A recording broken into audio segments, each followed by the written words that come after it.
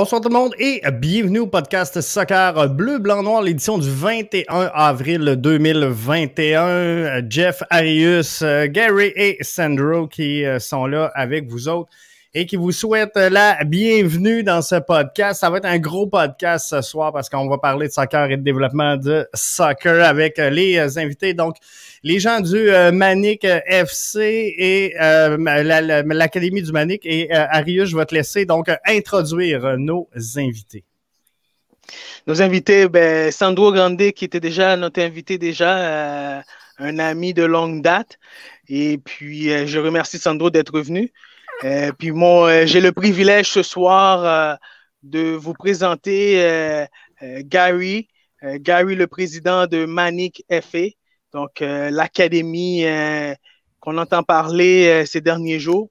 et puis, merci Gary de d'avoir accepté l'invitation. Et puis, c'est vraiment un plaisir de t'avoir avec nous ce soir et puis qu'on puisse discuter de ta vision et puis du développement du foot au Québec. Et puis, GF, ben, ça, va, ça va être le privilège pour les jeunes qui veulent aspirer un jour à un autre niveau professionnel et puis qui veulent euh, se faire entraîner par des entraîneurs euh, de, de, qualité, euh, qualifiés, et pour pouvoir aspirer à l'autre niveau. Merci, vraiment à toi, merci à toi, Arius, pour l'invitation. très apprécié. Merci, Sandro. Jeff, oui, tu allais dire quoi? Mais j'allais dire, c'est la place, c'est ça pour les jeunes qui veulent se développer et euh, chercher justement à atteindre leur, plein potentiel. Puis on, en a parlé, Arius, ensemble dans le passé. Hein. Je pense qu'on en parle souvent du, soccer et euh, des académies en général et du, mouvement euh, parallèle, en tout cas, qui devrait, à mes yeux, exister en lien avec la, structure intégrée de, soccer au Québec.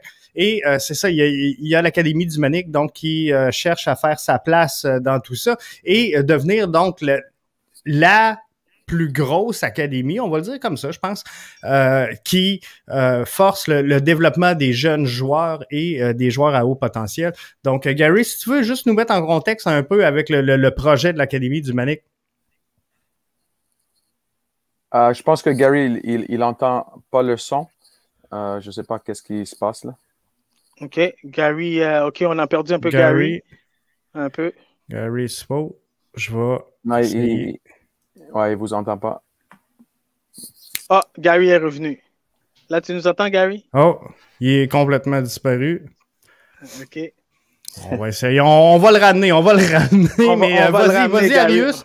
Vas-y avec euh, Sandro. Euh, je je m'absente 30 secondes, je vais aller chercher Gary. Ouais. Gary n'est pas là, mais euh, euh, plus sur le côté euh, des joueurs, Sandro. un joueur qui veut se, se, joindre au Manic, et, comment ça se passe pour lui? comment, qui, comment, c'est quoi les processus? mais premièrement, ils doivent ils doivent s'inscrire sur, le site pour les tryouts. Jusqu'à maintenant, on a beaucoup d'intérêt pour les, les, équipes de, de, de, notre académie, aussi dans les, dans les hautes performances, les U15, U17, U19. Euh, on a du bon feedback. Euh, je pense que on est en train de bâtir un, un, bon staff avec euh, du monde qui sont là pour, pour les jeunes, du monde qualifié. Mm-hmm. entre autres, Victor Barantes, qui va être l'entraîneur des U17, il a travaillé avec l'Académie de Barcelone. Ici, il fait ses, ses diplômes en, dans son pays d'origine en, Amérique du Sud. Mm-hmm. Il a fait le cours Barça de, Barcelone.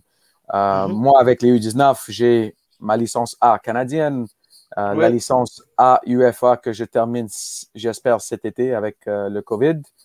Et, mhm. et après ça, moi aussi, j'ai fait le cours de Barça qui, qui, était très, très intéressant.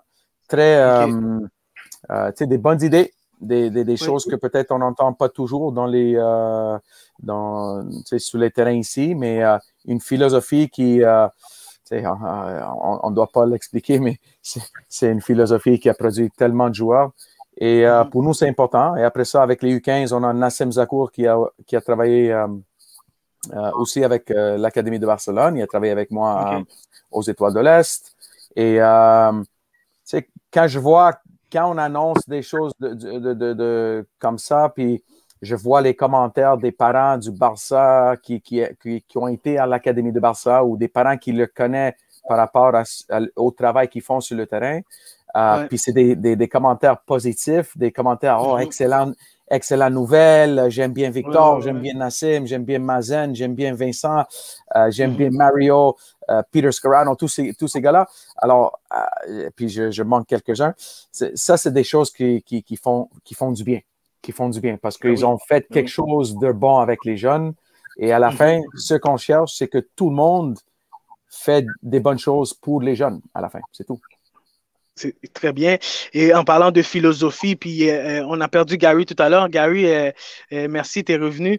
GF avait parti déjà l'information. Gary, l'idée derrière Bring Back de Manic, pour toi en tant que président, est-ce que tu peux nous expliquer un peu? Alors, ben, merci beaucoup, les gars. Je m'excuse. Euh, Vidéotron m'a lâché. alors,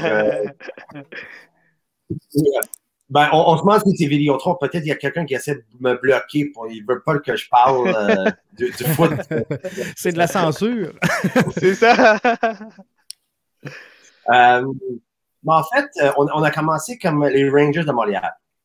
Euh, je vais te faire une longue histoire courte, mais euh, euh, on a décidé de partir une, une académie. J'ai fait un, petit post sur Instagram, puis là, j'ai eu un retour de message de quelqu'un de Glasgow, Gary Gibson. Puis là, je me disais, ben là, c'est pas vrai. Rangers de Glasgow, j'ai j'ai même pas un joueur.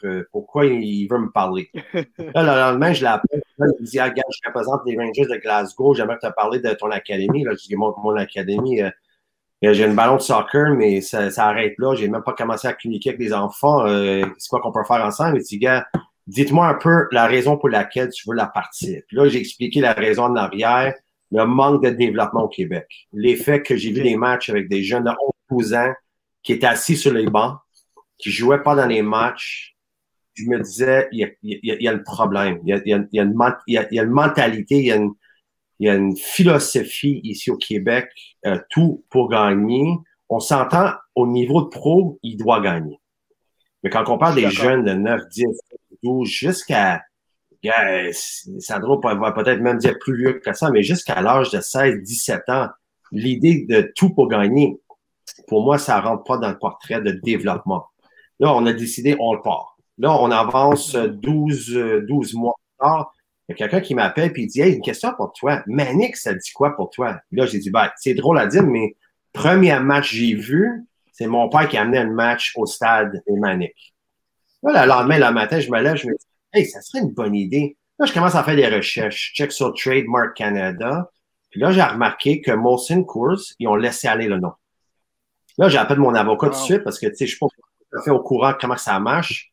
Là, je dis, ben là, je peux-tu la reprendre quand ça marche? Elle dit, ben, gars, euh, oui. J'ai dit, OK, ben, euh, gars, moi, je me disais ah, que ça va me coûter 30 000, 50 000, 100 000 pour avoir le logo, le nom. Je pense que c'était 800 quelque chose, 900 dollars. Puis là, bing, bang, je deviens la, propriétaire du, du, du, trademark, du marque euh, Manic. Et c'est parti de là. Puis je te dis, euh, j'ai mis un petit annonce sur Instagram. En dans deux minutes, j'ai tous les gars de 40 à 55 ans qui m'envoient des photos. Malheureusement, ils ont acheté les, les, les, jerseys Manic quand ils avaient 12 ans parce que tu voyais la moitié de la bedaine qui sortait d'en bas du jersey. je me disais, hey, euh, je pense que j'ai vraiment tombé sur quelque chose de spécial. Je vais peut-être faire sortir du monde, je vais leur faire penser à leur jeunesse.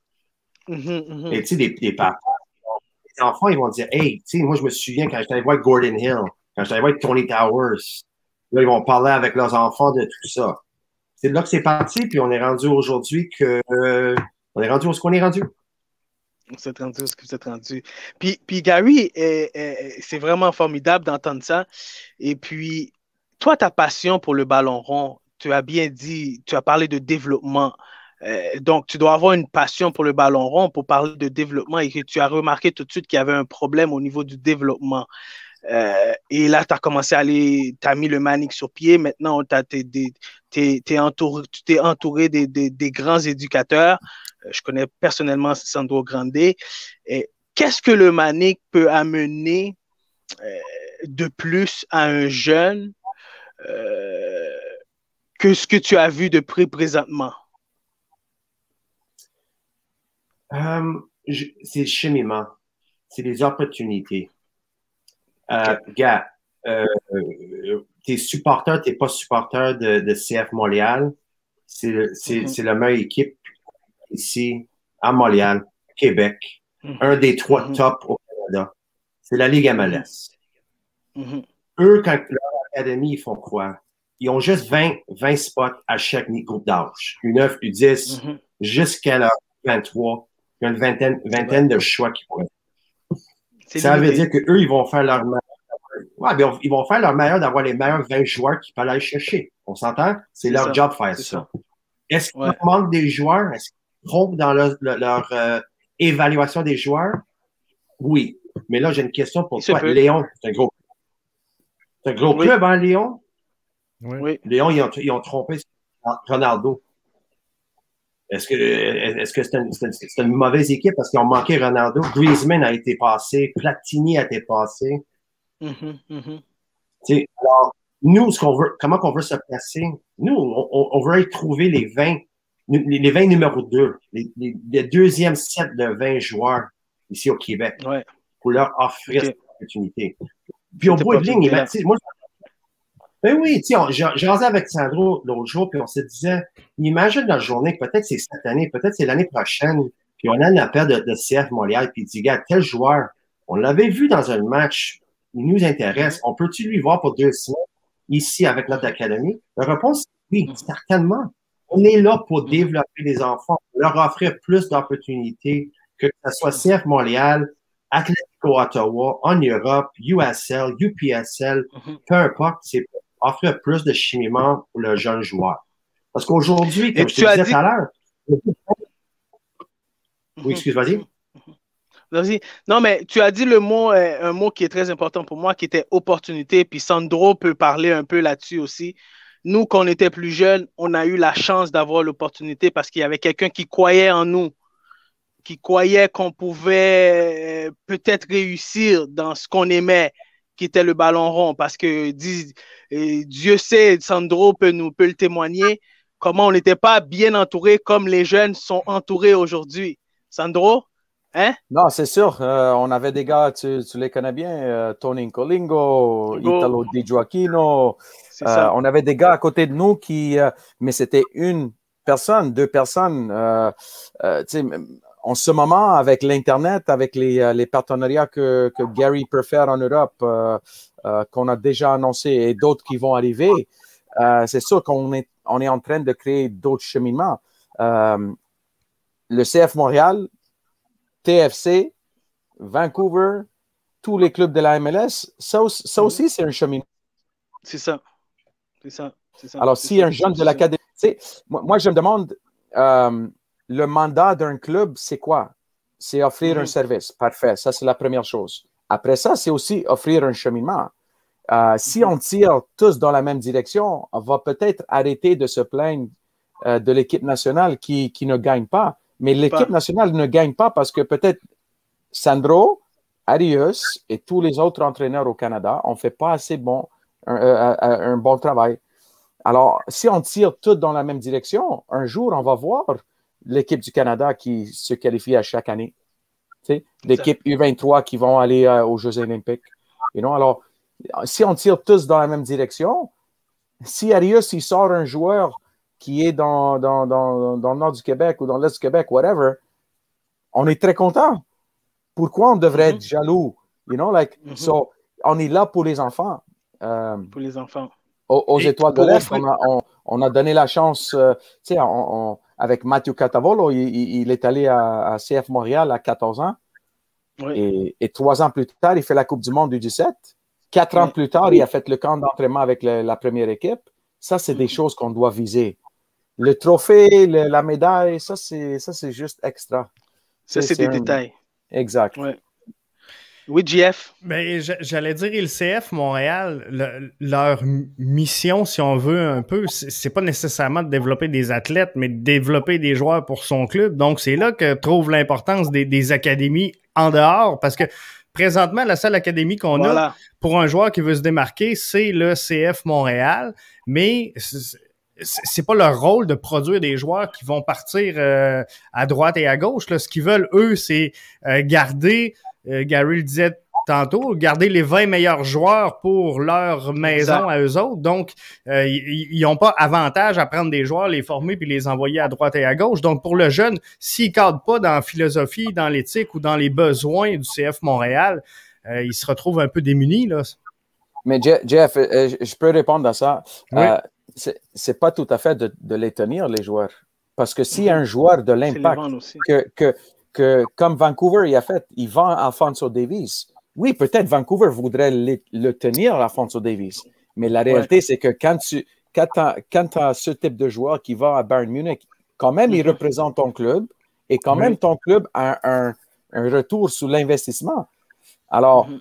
il faut regarder un peu plus le, le le, le, système Amérique centrale, Amérique du Sud, Afrique, euh, qui, qui, qui font juste produire et les mettre en Europe. Et, les mettre en Europe. C'est ça. You know, like so.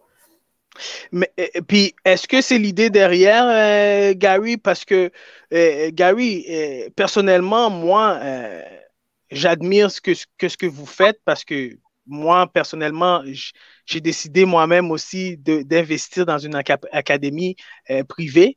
Et puis, euh, euh, je sais que c'est beaucoup d'investissement, de temps et d'argent. Et, pourquoi on, devrait empêcher quelqu'un qui veut le bien des enfants, l'encadrement des enfants, de vouloir euh, donner des opportunités, comme tu disais tout à l'heure? Um, c'est une excellente question. Euh, moi, j'en questionne, c'est qui qui le bloque? Moi, je me questionne, c'est qui qui a les problèmes avec les académies? Euh, il y a des jours que je me lève le matin, puis je me dis que la Fédé, ils sont ouverts, puis ils aimeraient bien avoir des académies. il y a des matins que je me lève et je me dis, c'est les clubs qui sont contre moi. Euh, j'ai la misère à comprendre pourquoi un club qui est fait de des bénévoles sur l'océan mhm. et aussi la plupart des, éducateurs, c'est des bénévoles. Pourquoi eux ne voulaient pas avoir une académie pour avoir plus de développement pour leurs enfants? Parce qu'on s'entend que quoi, 90% des gens qui sont impliqués avec les clubs, que ce soit le CA ou comme éducateur, c'est des parents. Mhm. Vu qu'ils ont les enfants dans le programme, alors, moi, je sais, moi, gars, moi, j'ai un gars de, un, jeune de 15 ans. Puis, euh, tout le monde s'est dit, ben alors, vous avez parti cette académie pour votre enfant, pour donner une place à mm-hmm. votre enfant. Euh, mm-hmm. le, le joke chez nous, c'est que j'ai dépensé tout mon argent et tout mon temps, puis la seule groupe d'âge que j'avais pas avant cette année, c'est le groupe d'âge de mon enfant. J'avais toujours les plus. Alors, ça, tout le monde d'avoir créé quelque chose pour mon enfant, vu que les dernières trois ans, j'avais jamais un groupe euh, pour mon gars. Mais mhm, mhm. je pense que le problème aujourd'hui, que je me, je me regarde du façon, si je me tiens comme pour, si je regarde du, si moi je serais CF Montréal, disons, moi j'aimerais bien qu'il y ait d'autres académies de qualité qui sont évaluées et accréditées, qui font du développement. Pour moi, c'est eux qui vont prendre la dans un enfant pour le développer, puis c'est moi qui peut-être va gagner de leur développement qui va se faire. Mhm. Alors, comment que je peux faire, moi, s'il y a 200, si on prend des, des, 2005, imagine qu'il y a 160 2005 qui sont en train de se faire développer dans des, académies de, de, qualité. Si on, on s'entend des mhm. académies qui étaient évaluées et accréditées, là, au lieu juste d'avoir 20 enfants, accès à 20 enfants, j'ai accès à 160. Imagine, imagine, tu sais, je me disais l'autre jour, les joueurs dans les dernières dix ans qui sont partis en Europe, qui n'ont pas passé par les mains de CF Montréal slash Impact. Je me demande si tu demandes, hey, t'as tel joueur, tel joueur, tel joueur, et ils vont dire, oui, on a manqué notre coup. Quand on les a regardés à l'âge de 15 ans, il n'y avait pas ses, capacités. Oui, il s'est développé, puis il est parti. Imagine, on garde ces jeunes-là, puis là, CF, ils ont juste appris c'est comme on travaille pour eux, en fait. On fait du développement, on travaille pour eux chimiquement. Et, au bout de ligne, c'est un des, des, places qu'on peut les envoyer. Tu amènes un bon point, Gary, puis euh, par rapport au nombre de joueurs qui n'ont pas passé par Montréal ou CNHP ou équipe du Québec qui se sont qui ont quand même réussi à, à partir ailleurs et puis trouver leur niche. et Sandro le sait très bien aussi, ça, ça arrive souvent. Est-ce qu'on a intérêt d'avoir des clubs de 3000, 4000? Parce qu'aujourd'hui, on voit le programme de reconnaissance, puis on voit la fusion des clubs. Est-ce que, est-ce que le programme de reconnaissance, toi, aujourd'hui, moi, je vois comme un investisseur, puis je te pose la question parce que là, vous suivez le développement du foot.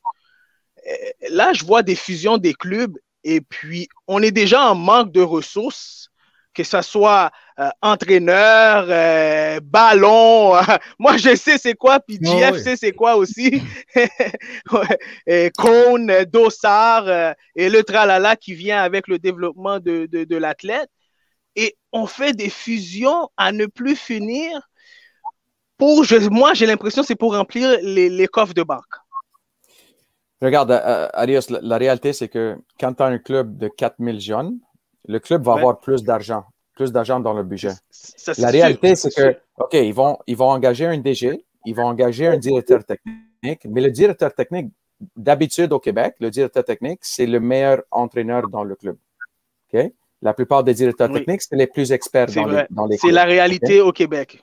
Comment, comment cette personne-là pourrait euh, affecter 4000 jeunes? Ici, au Canada, on a un des meilleures académies. Il s'appelle Futuro Academy à Ottawa.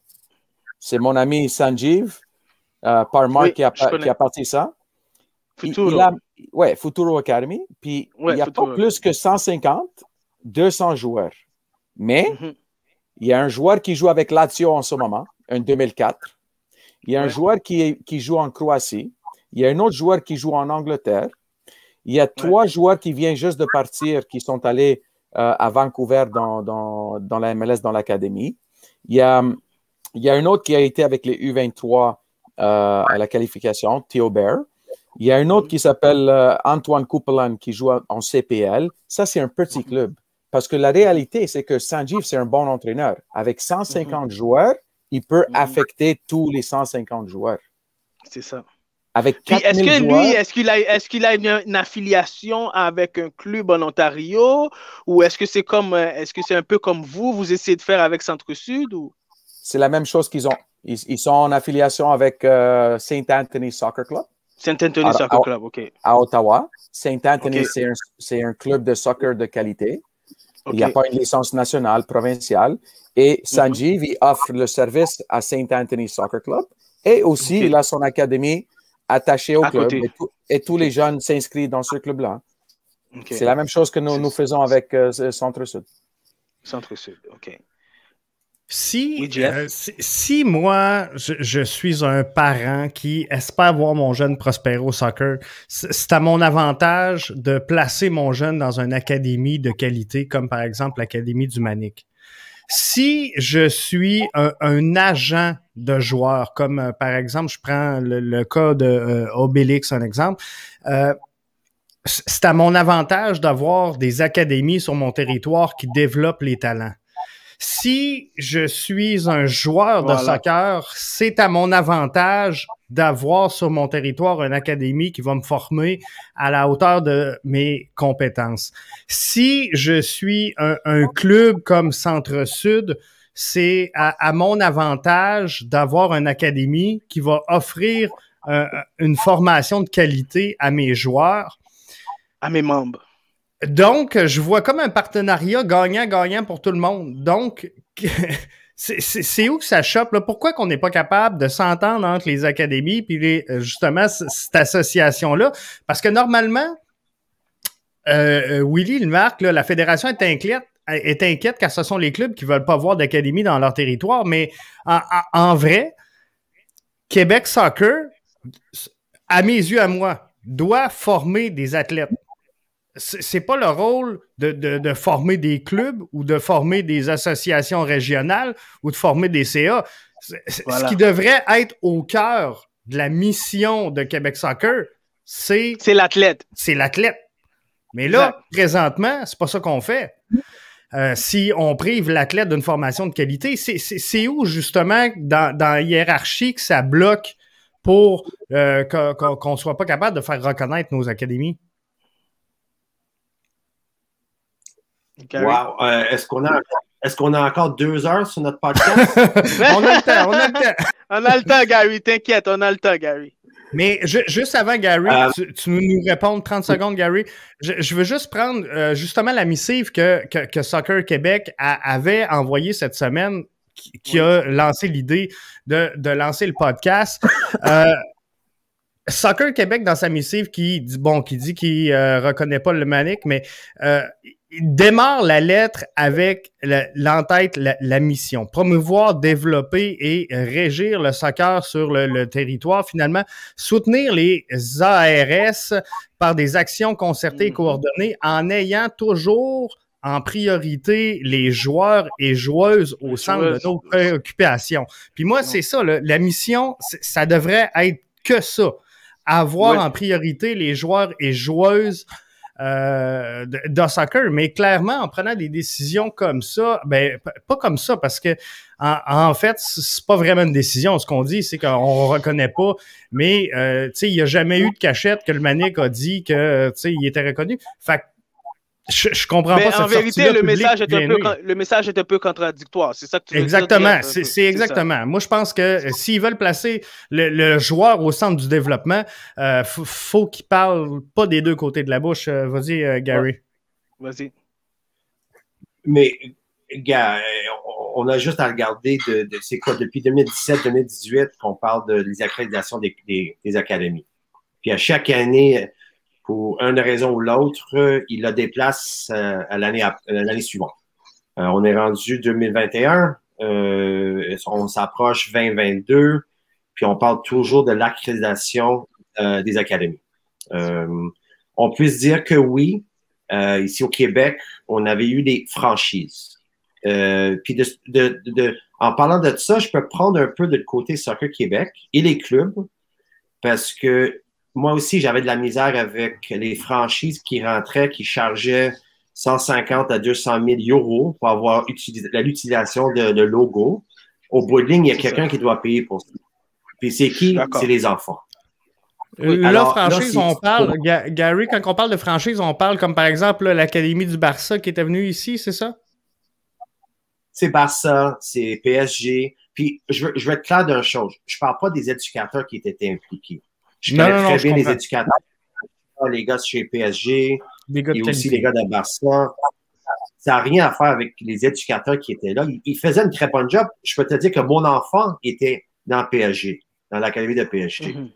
Alors, et je comprends de le côté Soccer Québec quand il regarde ça puis il dit, gars, c'est difficile de donner une accréditation à une académie qui est en fait un franchise. Mais là, on retrouve, c'est quoi le problème aujourd'hui? On est rendu 2021. En 2020, novembre, moi, j'ai déposé mon dossier à Soccer Québec. On a eu une réunion avec le DG de Soccer Québec.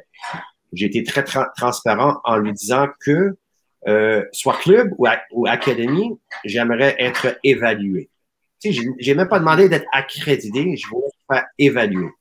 Parce que je me disais, pour, pour devrait être évalué. Parce que l'idée de juste donner une accréditation à quelqu'un, parce qu'il veut ouvrir un club, je me disais, ça n'a pas de bon sens. Si tu veux, si tu veux gérer un club de qualité de foot dans un petit coin de Québec pour les jeunes qui demeurent dans ce coin-là, ça, c'est tout à fait correct. Mais si tu veux parler de développement et vraiment d'offrir quelque chose de professionnel à des enfants, ça prend une évaluation. Des, des, des gens qui connaissent ça. Là, j'ai déposé ça, je m'attendais qu'il y ait de quoi qui arrive. Il m'a clairement indiqué que, gars, euh, numéro un, on n'est pas là pour l'accréditation des académies. Et numéro deux, c'est même pas nous qui fait l'accréditation des clubs. Là, ça m'a tombé comme, mhm. wow, c'est quoi ça? Vous êtes Soccer Québec, vous êtes euh, the big boys de Québec. Comment ça, c'est pas vous autres qui gèrent ça? Non, c'est les régions. Puis là, je me je revire d'abord, je me dis, OK, ben là, je vais, je vais m'approcher des régions. Je vais aller parler avec des régions. J'ai fait le tour de, de deux, deux régions, en fait. Euh, un, c'était Lac-Saint-Louis.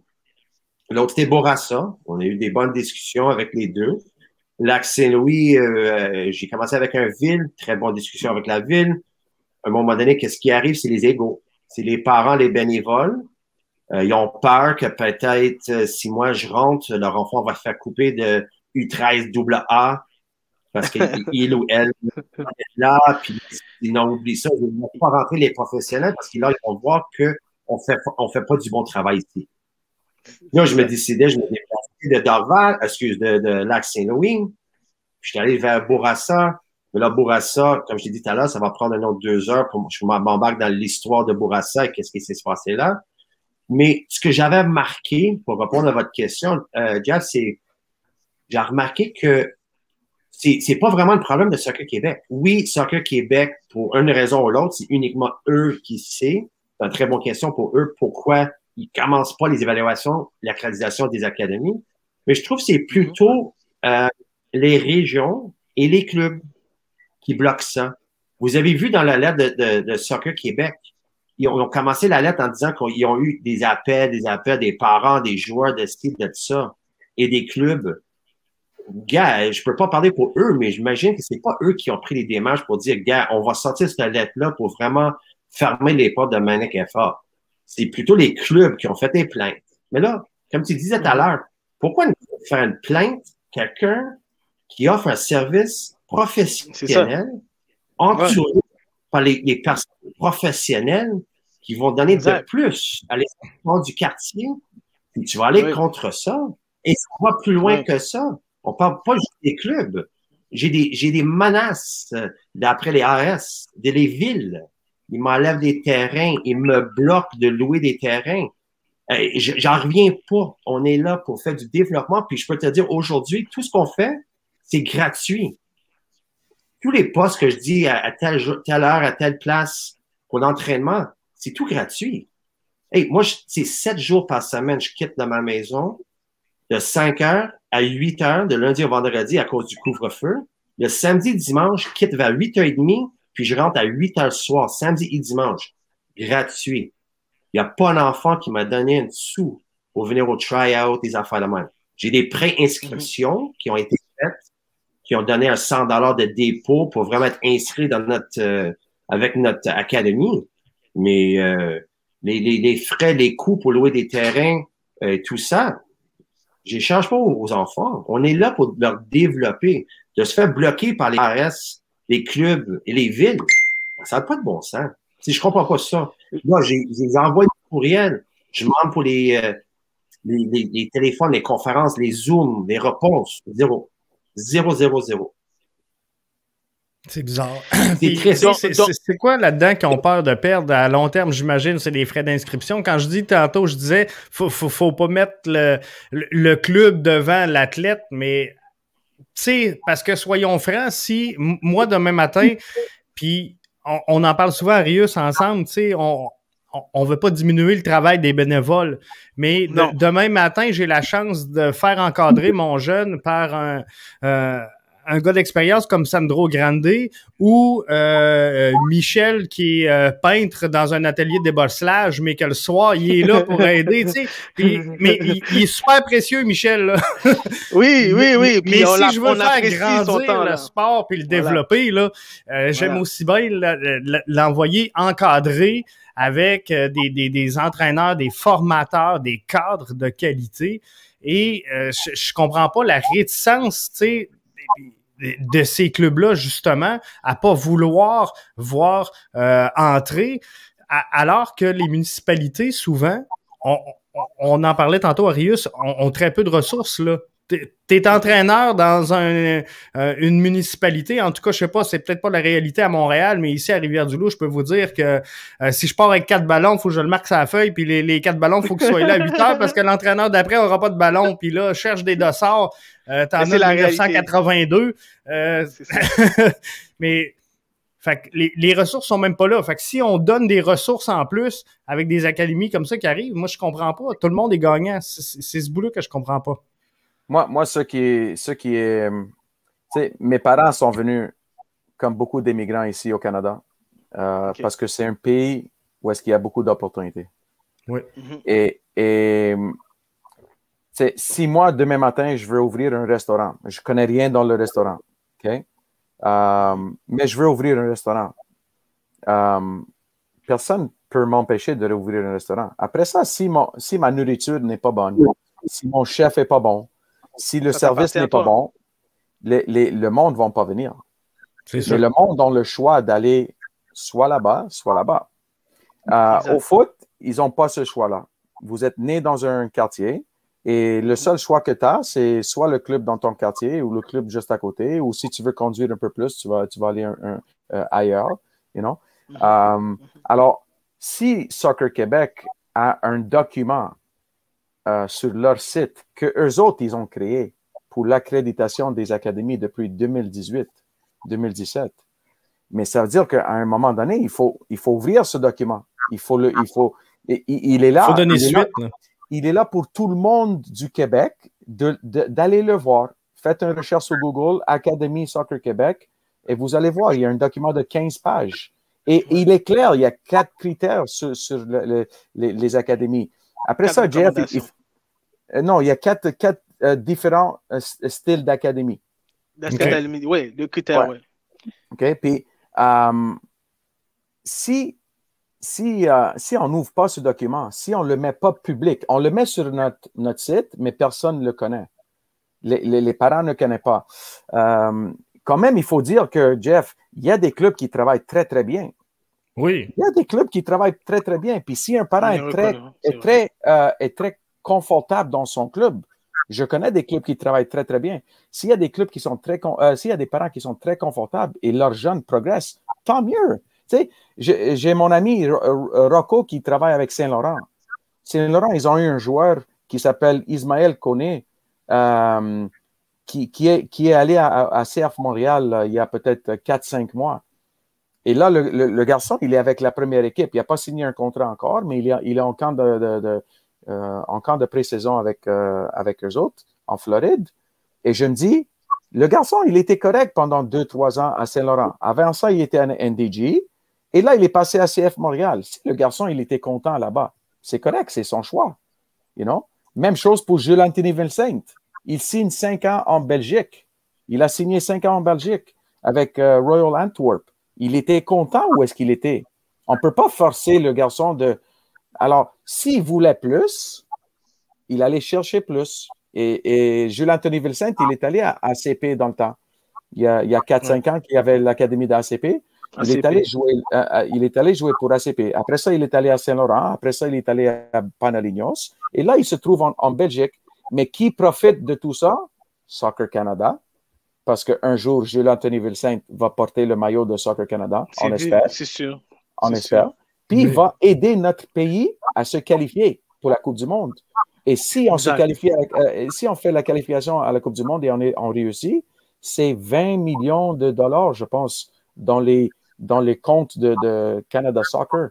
C'est ça qu'on doit aller chercher, les 20 millions, les 30 millions de commandites. Parce que là, tout d'un coup, l'argent va rentrer dans les clubs, l'argent va rentrer dans le système. Et là, on pourrait progresser. Si on ne fait jamais la Coupe du Monde, ça va être toujours très, très difficile pour notre pays de. de pour, le pays. de, continuer à développer.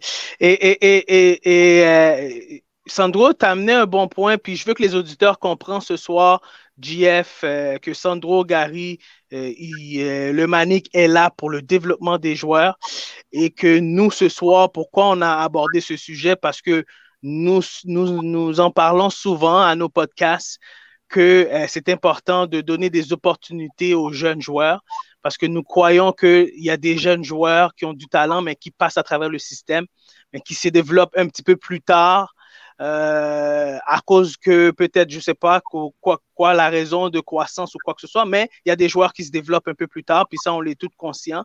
Euh, Sando, toi et moi. Et aujourd'hui, euh, le, le Manic est dans une position où est-ce que euh, le Manic peut donner espoir à certains jeunes.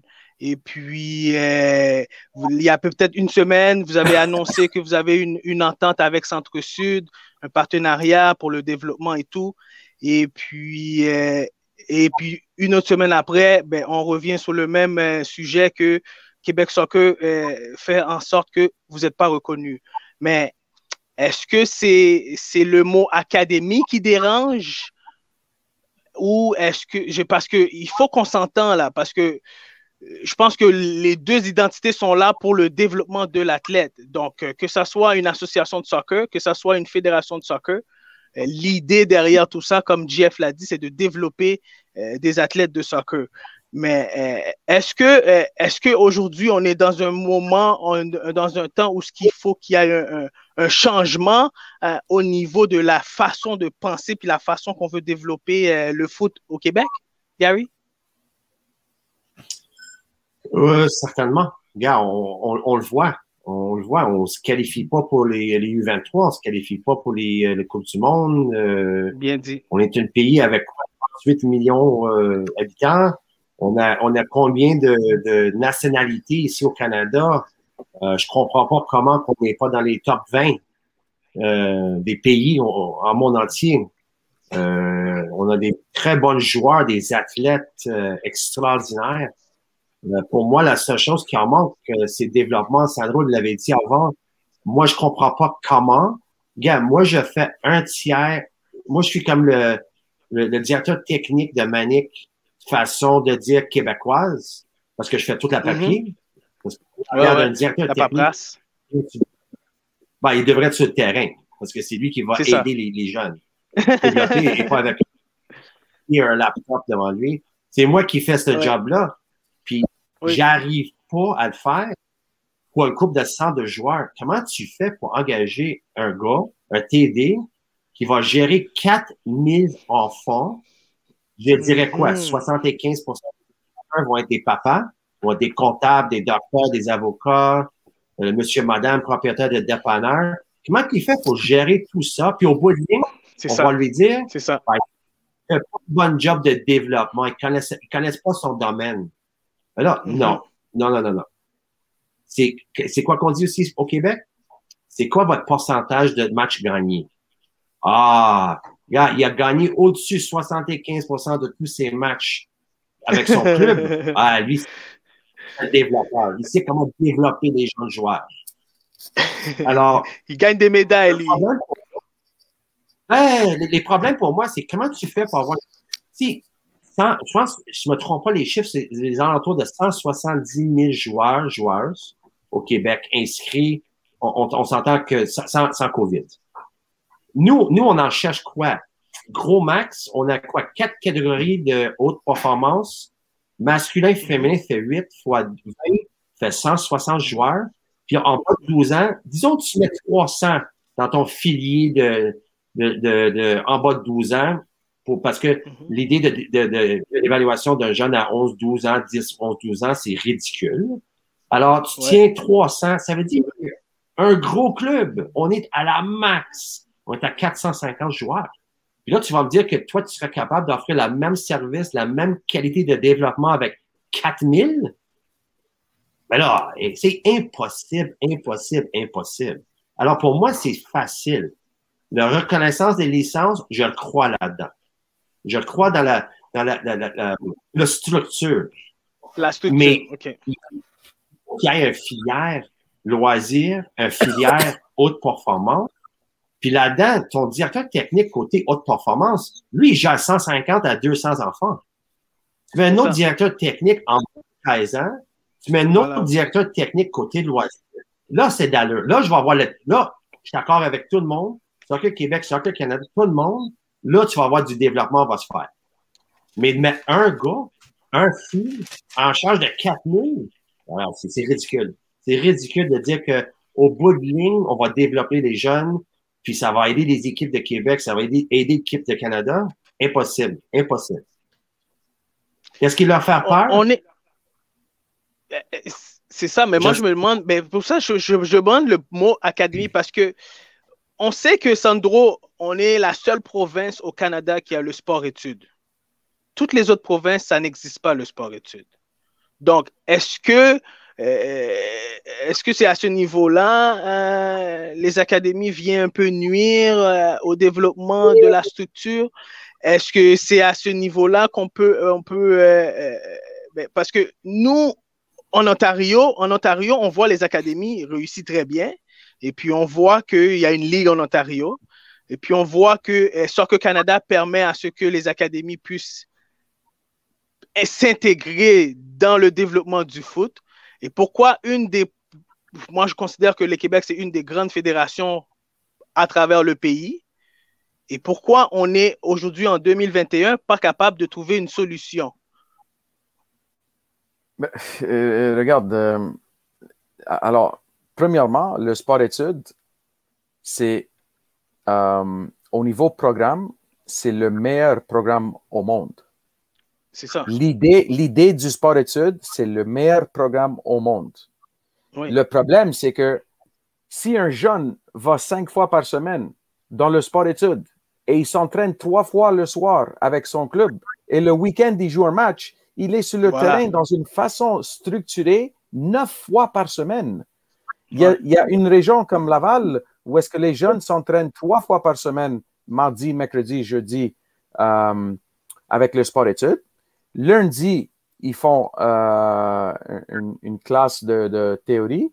Vendredi, ils font une classe de, multisport. OK? Euh, alors, ça, c'est correct. Mais le problème, c'est que le même jeune va dans son club le soir et, ils ne peuvent pas rater, ils ne peuvent pas s'absenter. C'est trop. Et on se demande, et, la question arrive à chaque année et on n'est pas capable de trouver la solution. Euh, pourquoi les jeunes se blessent, pourquoi les jeunes quittent. Tu sais, euh, j'ai eu une discussion l'autre jour avec un ami, j'ai dit, il y a des études de, combien de drop-out, il y a, hum, je ne sais pas comment dire ça en, français. Abandon. abandon à l'école secondaire. Il y a une étude de ça. Décrochage. Décrochage, décrochage. Décrochage de, l'école secondaire. Il y a une étude pour ça. Pourquoi on ne fait pas la même étude pour le, foot? Et on demande c'est quoi le problème? Parce que euh, j'ai amené la question. Vas-y, vas-y, continue. Non, non, je, voulais juste dire, euh, moi et Gary, on connaît un, joueur très talentueux, très talentueux. C'est un 2005. Je ne vais pas dire son nom. OK? On se demandait, mais il est où? Il est où, ce garçon-là? Gary, il y a deux semaines, il me dit, il a lâché le foot. Il a, il a, il, a à peine 15-16 ans. Brûlé. C'est un 2005. Brûlé. Il ne veut, plus, il veut plus savoir. Il ne veut plus savoir. Pourquoi? Parce, qu'il y a eu 9, 10, c'est plein de tournois, plein de, de, matchs, il faut gagner, match, il faut gagner, match, il faut gagner. C'est beaucoup de pression. Parce que je me souviens, euh, moi, quand j'étais entraîneur cadre, et puis quand le, le, sujet des académies sont venus, puis tu l'as bien mentionné, de Gary, depuis 2017, le, le, projet est là, puis moi, j'en faisais partie du projet, puis on entendait parler de toutes les académies. Et, les questions qui revenaient souvent euh, et les choses qui revenaient souvent dans les avantages puis les désavantages d'avoir les académies, c'est que nos athlètes étaient surchargés euh, parce qu'il y avait déjà le, le, la structure de sport-études euh, et, aussi il y a la structure de 3A, Sandro on a mentionné, tu as les clubs et tout, et tu as le centre, centre, centre CDR régional tu as as toutes sortes de, programmes de développement qui existent dans notre structure qu'aujourd'hui, euh, il y a même des parents qui veulent donner de plus à leurs jeunes pour s'assurer que leurs jeunes restent dans les meilleurs.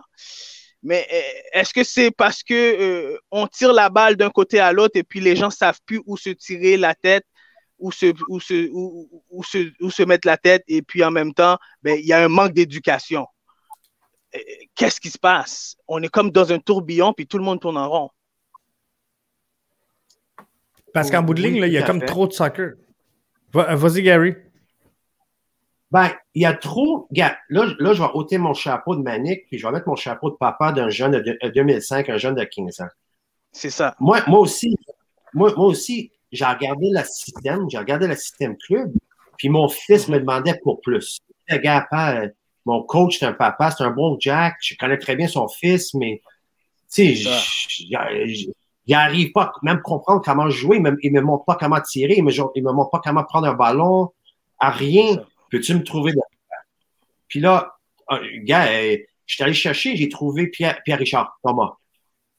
Puis là, j'ai tombé ami avec Pierre Richard, euh, Richard puis euh, mon gars Lucas, il s'entraînait deux fois par semaine avec Pierre, Pierre Richard parce que, oublie ça, à son club, il n'y avait pas de développement. Pas de développement. Mm-hmm. Oui, il y avait deux, trois pratiques avec son club, un match par semaine, ça fait quatre, deux fois avec Pierre, c'est fait six. Mm-hmm. Mais moi, je me demandais, est-ce que c'est trop? Mais la réalité, c'est qu'il y avait vraiment juste deux séances de vrai foot avec Pierre Richard. Le restant, c'était du loisir, c'était du fun, c'était du comme du. C'est ça. Euh, on appelle ça du Manic Street, tu sais, du pick-up. Ouais. Alors, je ne sais pas très bien où parents sont aujourd'hui parce qu'ils sont dans un club, ils ne sont pas satisfaits. Ils se disent, ah, mais j'ai des matchs, des compétitions. L'enfant aime les compétitions, il joue avec ses amis. Côté développement, il y a vraiment un manque de développement. Là, ils cherchent des trucs à, l'extérieur. Et c'est ça, ça a donné vie à les programmes comme PSG, comme Barça, qui faisaient deux entraînements par semaine de surplus. Je chargeais 3000 pièces, 4000 pièces pour donner deux entraînements et un, match amical de temps en temps. Puis là, boum, ça sort les maniques. Manique offre quelque chose de professionnel. on, on se dit toujours, je te demande jamais de quitter votre club c'est une décision que tu vas faire toi-même. C'est ça. Puis là, qu'est-ce qui arrive avec 99,9% de tous les enfants? Ils décident de rester avec la manique. Pourquoi? Parce qu'ils voient que c'est du développement. Qu'il n'y a pas de stress. Ils savent que leur coach, que ce soit euh, Nassim, Sandro, Mazine, Mario, Victor, s'ils essaient de faire quelque chose sur le terrain, ils seraient pas, ils, vont pas faire sortir du match puis ils vont s'asseoir sur le banc parce qu'ils ont essayé de faire quelque chose de différent. Ben, moi, en, voyant la lettre de, de, de, Soccer Québec et, quand Soccer Québec a mis les parents étaient inquiets et tout, il y avait des questionnements et tout. Moi, j'ai fait un peu, euh, euh, euh, un peu le retour sur toutes mes vécus puis mes situations que j'ai vécues comme entraîneur, comme directeur technique et tout. Sandro peut en témoigner. Combien d'entraîneurs que moi j'ai fait face, même entraîneurs que moi j'étais leur directeur technique, qui disent ça c'est mon équipe, je veux pas perdre mon joueur, moi, moi mon joueur doit, c'est comme ça là. Eh, donc ça finissait plus les discussions et puis Sandro, est-ce que moi aujourd'hui, moi je pense que je me, je me pose, je pense qu'on est comme dans un, dans un, je répète encore, dans un tourbillon et puis les parents ne sont pas très bien éduqués par rapport à quel est le vrai environnement culturel, footballistiquement parlant, qu'un jeune a besoin, qu'aujourd'hui, on les a tellement manipulés au niveau des certains clubs qu'ils ont de la misère à prendre des bonnes décisions. C'est quoi le meilleur développement pour leurs jeunes? So, so, c'est drôle que, que, tu dis ça, um, Arius, mais il y a peut-être deux semaines sur Twitter, il y a Todd Bean. Je suis Todd Bean. Todd Bean, c'est le, il est marié avec la fille de Cruyff. Alors, euh, lui, il est aux États-Unis, mais il a, été euh, en Espagne pendant plusieurs années. Il a suivi son euh, beau-père, souvent. Et, lui, il a son propre académie, son propre style de coaching et tout ça. Puis, il partage beaucoup de choses. Puis, mhm. il y a deux semaines, il dit, je gage que, que sur Twitter, si mhm. je mets un contrat de Barcelone pour et je dis à tous les entraîneurs de, qui sont aux, États-Unis, vous avez un contrat de Barcelone. Demain matin, vous partez, puis vous, vous allez en Espagne, puis vous, vous travaillez avec le Barcelone. Il n'y a pas mhm. un entraîneur qui va dire, quand ils vont arriver là-bas, que non, non, moi, j'ai ma propre philosophie d'enseignement. J'ai mon propre équipe. Il n'y a pas un entraîneur. C'est vrai. Mais, quand tu rentres dans un club, puis tu vois Arius, le monde ne respecte pas Arius, ne respecte pas les directeurs techniques professionnels. Euh, parce que nous autres, on est des professionnels. On doit arrêter de dire, euh, tu sais, euh, on est juste des, des, des, des entraîneurs comme n'importe qui. Non, Mike Pitulano, c'est un entraîneur professionnel. John Limiada, c'est un entraîneur professionnel. Kit Siladopoulos, c'est un entraîneur professionnel. Euh, euh, Gilbert qui travaille avec Longueuil, le, DT, c'est un entraîneur professionnel. parce que, parce que si on ne commence pas à dire ça, puis c'est pas professionnel pour dire on coach du professionnel. Non. On coach des, des, jeunes, on, on travaille avec des jeunes, mais on est des coachs professionnels. Pourquoi? Parce qu'on a fait beaucoup de cours, euh, on a fait beaucoup de développement d'entraîneurs, on suit, on étudie, OK? Et, on doit commencer à respecter ce monde-là. Le, jour où est-ce que Arius va pas faire un bon travail parce que parce qu'il fait pas un bon travail, il est pas sérieux ou il, n'a a, pas les documents comme il faut, il n'est pas organisé. Le club va dire, regarde, Darius, ton travail n'est pas bon. Voilà. tu ne vas pas avoir de contrat. Voilà. C'est tout. Voilà, c'est tout. Eh, est-ce que, tu sais, le, problème à mes yeux, là, puis je repense à mes expériences personnelles, je ne sais pas, tu le dis, Sandro, je pense qu'on a des gens de qualité. Tu sais, les directeurs techniques, la plupart des gens ont quand même des, des, organisations. Les, les, clubs ont des organisations de qualité.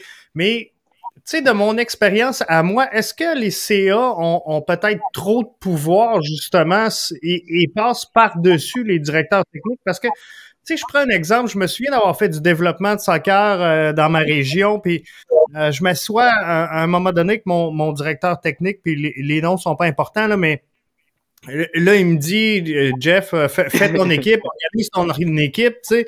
Puis là, j'organise mon équipe, je vise avec le directeur technique, puis là, il me dit, garde, nous, on s'en va dans cette direction-là, puis c'est parfait, puis on, s'enligne sur la même hiérarchie.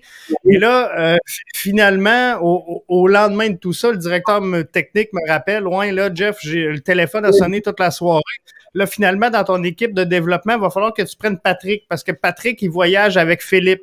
Fait que là, ça, c'est super important. fait que, euh, Patrick, il faut que tu le développes. Puis là, euh, mettons, euh, Xavier, là, son père, là, c'est lui qui a acheté le logo sur le chandail. Fait qu'il il faut qu'il soit dans la première équipe. Fait que là, tu sais, là, le directeur technique, là, il n'a plus le pouvoir de dire, regarde, c'est l'orientation que je donne à mon club, là, parce que le CA vient d'un peu effacer euh, cette lignée-là. Puis tant que le, CA va avoir autant de pouvoir, d'après moi, sur les, directeurs techniques, ça va être difficile. Moi, moi, je rêve un jour que dans un une euh, euh, comité, euh, il existe, je ne sais pas, 30, 40, 50, 60 personnes, mais dans cette comité, à travers le Canada, il y a Jason Divos, Dwayne DiRosario, Julian de Guzman, Patrice Bernier, Patrick Leduc, Ali Jabba, Sandro Grande, Sanjeev, Arius, tous les joueurs, tous les professionnels. Parce que la réalité, c'est que moi, j'ai vécu des choses qu'une personne normale pourrait jamais le voir. Patrice Bernier, la même chose. Dwayne De Rosario, la même chose. Julian de Guzman, la même chose. Et dans cette, dans cette réunion, il y a deux ou trois personnes qui prennent des notes et toutes les idées que nous autres, on met sur la table, c'est parce que nous autres, on a, on a du vécu. On est des professionnels, on est des experts. Si nos idées ont du sens, puis ça fonctionne bien avec les budgets, on va de l'avant avec ces idées-là. Mais on ne peut pas avoir un monsieur, madame, n'importe qui, qui, qui, va dire à Dwayne De Rosario Hey Dwayne, tu connais quoi, toi C'est sûr. Ou Julian de Guzman, tu as joué où? Non, moi, j'ai joué avec Deportivo La Coruña. j'ai 75 matchs ou, plus, ou 100 matchs et plus avec l'équipe nationale du Canada. Jason Divos, euh, oh, non, moi, j'ai ma, ma, ma, UFA A. Euh, euh, j'ai fait tous les cours de. j'ai joué en, en, Angleterre pendant 20 ans. Mhm. Alors, quand le monde va commencer à écouter les personnes qui ont du vécu comme ça, comme Mike Vitolano, comme Arius, comme, you know, tous les gars, il y en a plein. Pourquoi on est en train d'écouter? Parce que ces gars-là ont une crédibilité, ils ont un parcours. Mais oui, Tuchel de Chelsea, je, je, je suis Tuchel, euh, pas de très très proche, mais je suis Tuchel. Je, je, fais des recherches. Euh, il fait des exercices extraordinaires. Euh, des exercices que, que, que pas d'autres coachs au monde y font il, coupe son terrain, il, fait des formes différentes, il fait plein de choses. Puis apparemment, c'est comme génial. Quand tu es, es, un joueur là-dedans, c'est comme, comme génial. Tu as toujours quelque chose de nouveau qui, qui, se présente sur le terrain à chaque jour. OK? Il n'y a pas personne qui a dit à toucher, allez, tu fais quoi? Moi, je suis dans le CA. Tu n'as pas le droit de faire ces exercices-là. Non, c'est sûr. Est-ce que, est-ce que euh, moi j'ai vu un document sur Soccer Canada, environnement accessible inclusif et accueillant. Dans tous les niveaux, on parle de euh, euh, inclusif, équité, diversité, on, parle du tout. Et toi, Gary, euh, au début, tu nous as bien parlé que ton expérience que tu as vécue quand tu as vu qu'est-ce qui se passait sur le côté d'un terrain durant un match de 11 ans et tu vois que l'enfant reste sur le banc tout le match parce que le coach veut absolument gagner et tout. Est-ce que tu crois que c'est quelque chose qui, qui, qui, que, que notre, les gens qui gèrent le foot au Québec sont au courant et puis qui savent que les académies comme euh, Panthers Football Academy, Manic euh, ou euh, whatever other academy vont venir exposer comme, comme, comme parce que dans tout, dans tout grand business, dans toute grande corporation, il y a des avantages, il y a des désavantages, il y a des bonnes choses, il y a des mauvaises choses, puis on doit trouver une façon de d'améliorer, surtout quand on fait face à servir le peuple ou à servir des membres. Euh, tout à fait. Euh, moi, je la regarde de cette façon-là. Ça devrait être le choix de l'enfant et les parents. Si, si l'enfant et les parents euh, veulent gagner à tout prix, alors qu'ils trouvent un mm-hmm. club que c'est leur philosophie de gagner à tout prix. Euh, pour dire que est-ce que je suis contre ça? Oui, moi, pour moi-même, pour mes enfants, mes philosophies, oui, je suis contre ça mais je suis pas contre l'idée que quelqu'un d'autre veuille uniquement gagner. Et il y a une place pour ça. Euh, on parle toujours de, de, de Soccer Québec, les clubs, les ARS. Euh, les parents ont, ont, une grosse responsabilité là-dedans aussi, hein, parce que tu n'as pas besoin d'y aller loin. On a des, des, matchs des gens de 10 ans, puis des, je m'excuse, mais les parents sont, sont malades, sont perdus, sont, sont plus impliqués dans le match que les petits jeunes sont impliqués. Tu sais, as des jeunes de 5 ans, le, petit gars le petit fille, il cherche des pissenlits dans, dans un terrain de turf, puis le parent est en train de crier Ah! J'en reviens pas. C'est comme il veut, il veut repartir leur jeunesse, euh, ils voient eux-mêmes sur un terrain avec le ballon. Euh, tu sais, je me dis, c'est le problème, c'est plus grand que, que Soccer Québec, que les clubs, que l'ARS. C'est une mentalité de tout pour gagner, à tout prix gagner. Alors, il faut qu'on change cette mentalité avec, en, premier, c'est l'éducation des parents. Je pense qu'il y a, il y a pas beaucoup de parents qui comprennent le parcours que toi-même puis Sandro ont pris. Que c'est pas 15%, mhm. c'est pas 30% des joueurs qui vont avoir la chance que vous avez eue. C'est en bas de 0.0 quelque chose pour cent. Mhm. Qui veut dire quoi? 170 000 joueurs au Québec. Fais les calculs c'est pas le grand nombre de joueurs qui vont réussir à, leur rêve. C'est ça. Qui vont être capables de, ben, on, le disait tantôt. On, le disait tantôt, il y, a, quoi 170 000 joueurs à peu près euh, présentement dans la structure.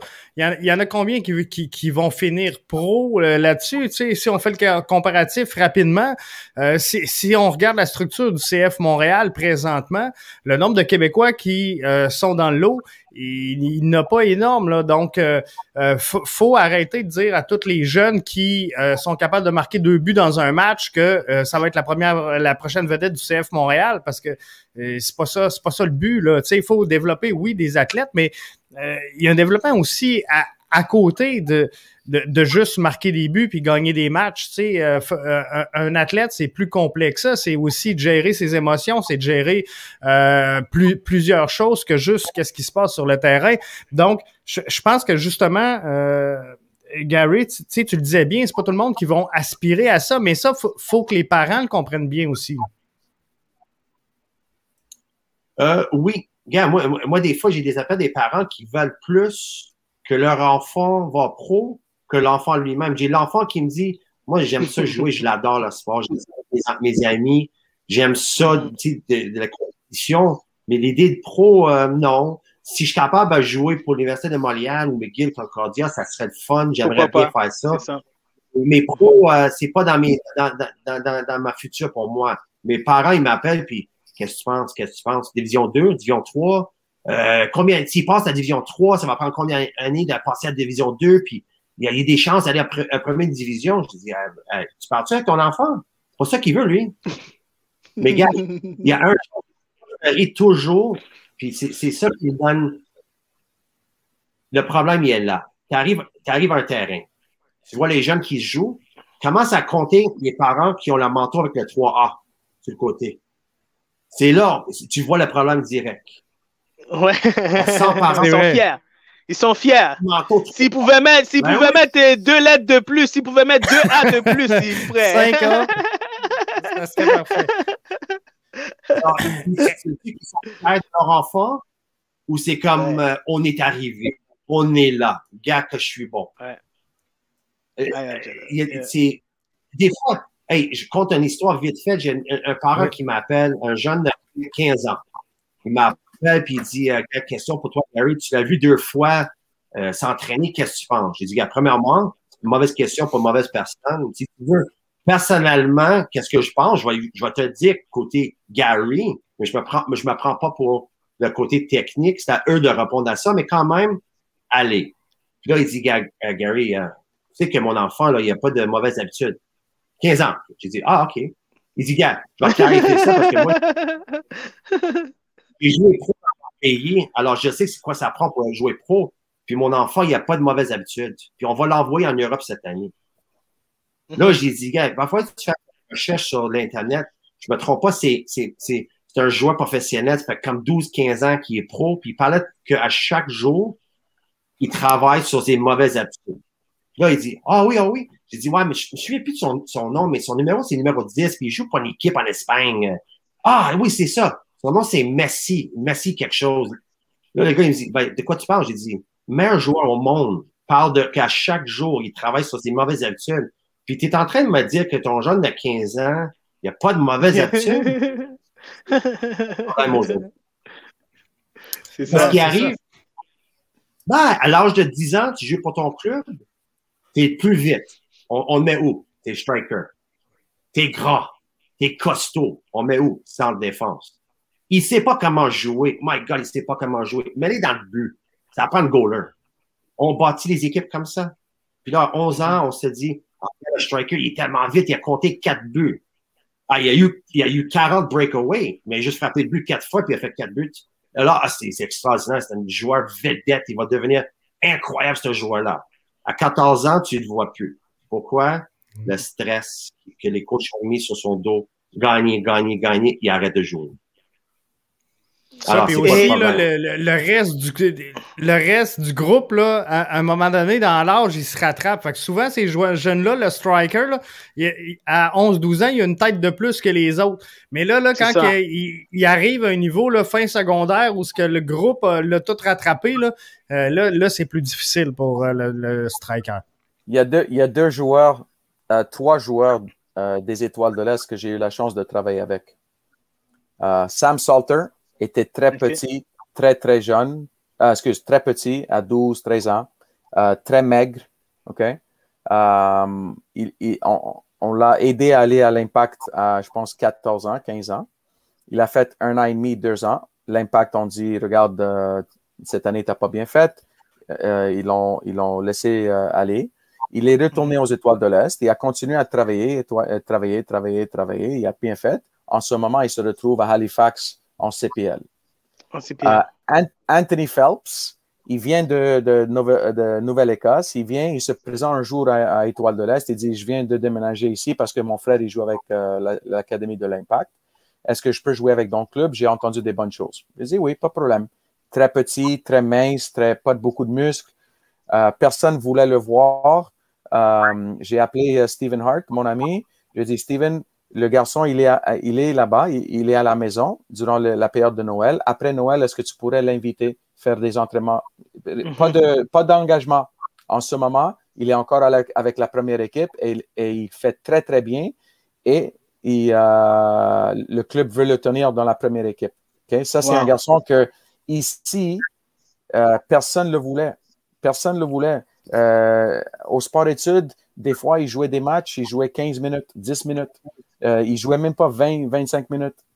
Mais son cerveau travaillait très, très, très, très bien sur le terrain. Sauf qu'il avait besoin un peu de temps, comme tu dis, JF. Mm-hmm. Il y a Garvin mm -hmm. Garvin Metusala, mm-hmm. il est à Hamilton. Même chose mm-hmm. avec Forge. Puis, euh, puis c'était la même chose, coupé avec l'équipe du Québec quand il était euh, à 13-14 ans. C'est nous autres, moi et Andrea, on, l'a coupé parce qu'il n'était pas prêt, mais il avait un bon, une bonne cerveau. Il est allé à l'impact. Il est resté un couple d'années. Après ça, il est retourné aux Étoiles de l'Est. Après ça, il a trouvé un autre, euh, un autre club euh, dans le semi-pro. Et là, tout d'un coup, première chose, il est six pieds quelque chose, six pieds 2, six pieds 3. Euh, il a des muscles. Il a toujours son cerveau de foot parce qu'il devait résoudre des problèmes quand il était plus petit. C'était pas facile. Et là, tout d'un coup, il se trouve en, CPL. Alors, il faut, Puis Sandro, faire attention avec l'évaluation des joueurs très jeunes. Oui, c'est ça. Puis Sandro et Gary, et puis tout à l'heure, on parlait de sport études, puis je trouve que sport études, tu as raison, c'est un programme super important.